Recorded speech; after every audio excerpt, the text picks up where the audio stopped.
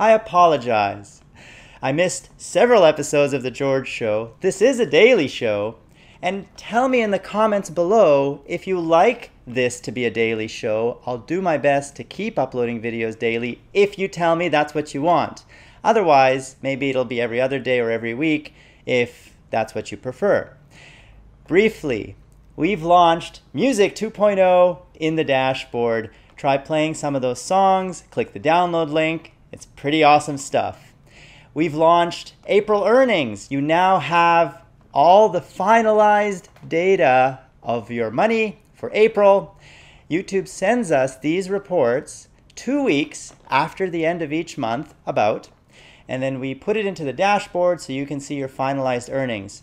They're very similar to your estimated earnings in your YouTube analytics, but these are not estimated, these are final. And guys, we launched youtube.com slash GFX very recently. Go check out the channel, and if you're a designer, apply to help manage the channel. We are building a large team because there are a lot of designers and a lot of different kinds of designs, and we want to create a community hub channel for every designer and YouTubers who need designs, the matchmaking service. So head on over to youtube.com slash GFX and show them some of that freedom love. We also have youtube.com slash gamers. As you know, we have not launched that yet. And we have one secret surprise for all you esport lovers.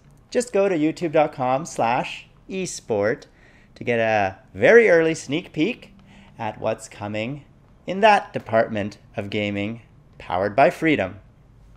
Guys, we're growing so quickly thanks to you. I can't tell you how happy I am to see that you like what we are building. You like the concept of freedom and you like the community that we help connect people together. Well, we're going to keep doing more of that. You can be certain of it.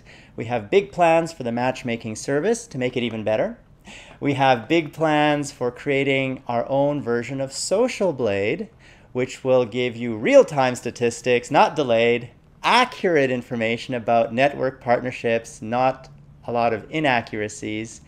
And if you are an MCN yourself, you'll be able to upload your CMS data so it's completely accurate and you're not missing 70% of your channels from your network reporting. All of that is in development, and I'm just giving you a very early sneak peek at what's coming as part of my apology for not producing the episode of The George Show as I normally do.